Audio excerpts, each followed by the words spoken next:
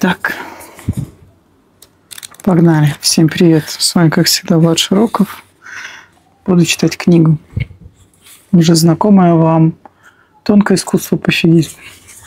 Счастье – это решение проблем. Проблема – это жизненная константа. Чтобы поднять, подтянуть физическую форму, вы записываетесь в тренажерный зал. Но тем самым создаете новые проблемы. Надо выделить надо выделить время для занятий и рано вставать, да еще до а, одури потеть на тренажере, да еще мыться и переодеваться, чтобы не вонять на весь офис. Или, допустим, такая проблема. Вы мало времени проводите с женой. Вы решаете, что по средам будете вместе ходить в ресторан. Но это опять головная боль, куда пойти, чтобы обоим было приятно. Где взять деньги на пристойную еду, как вернуть утраченную искорку в отношения и как влезть вдвоем в маленькую ванну со слишком большим количеством пены. Проблемы не иссякают. Они лишь меняются или выходят на новый уровень. Счастье приходит от решения проблем.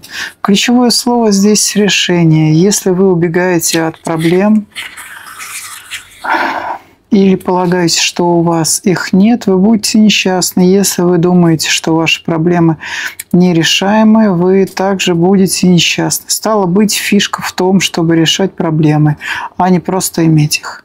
Решать – вот путь э, к счастью. Счастье – это форма, действие, активность. Оно не приходит само по себе и не обнаруживается по волшебству в горячие десятки статей из Тхе на Пост или советах какого-то гуру или учителя. Оно не наступает по мановению волшебной палочки когда у вас появляется достаточно денег, чтобы добавить к дому еще одну комнату.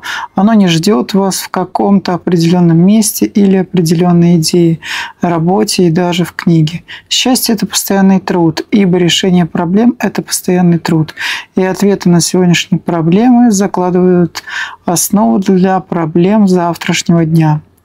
Подлинное счастье наступает лишь когда мы, вы находите проблемы, которые вам нравится иметь и решать. Иногда эти проблемы простые. Есть качественную еду, путешествовать, покупать новые видеоигры, играть и выигрывать. Иногда эти проблемы абстрактные, сложные, наладить отношения с матерью, найти работу по душе, укрепить дружбу. Какими бы ни были проблемы, суть одинакова. Решайте их и будьте счастливы. Если, вы, если бы все было так просто, вздохнут многие.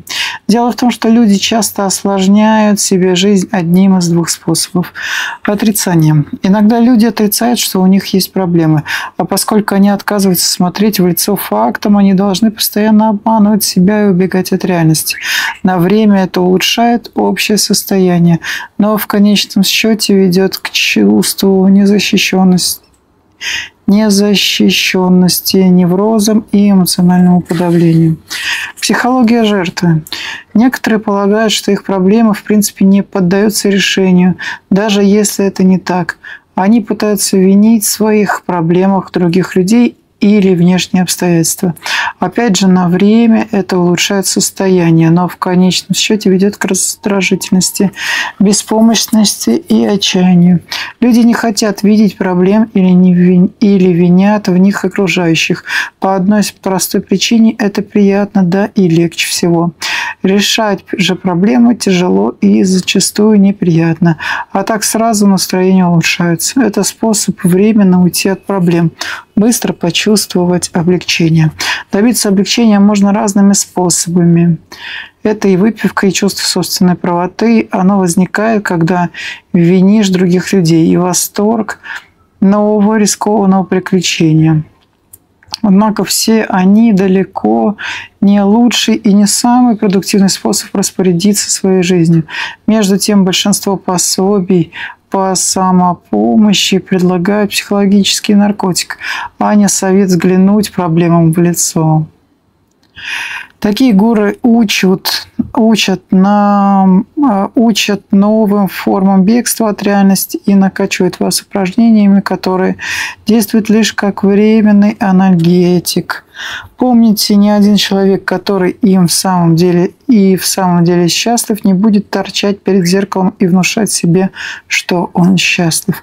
А еще так появляется привыкание. Чем больше вы полагаетесь на способы отвлечься от глубинных проблем, тем сильнее становится потребность в отвлечениях. И почти все может стать наркотиком в зависимости от мотива использования. У всех нас есть излюбленные способы приглушить боль.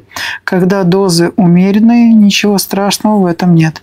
Но чем больше, э, чем дольше мы бежим от реальности и глотаем обезболивающее, тем болезненнее станет столкновение с правдой.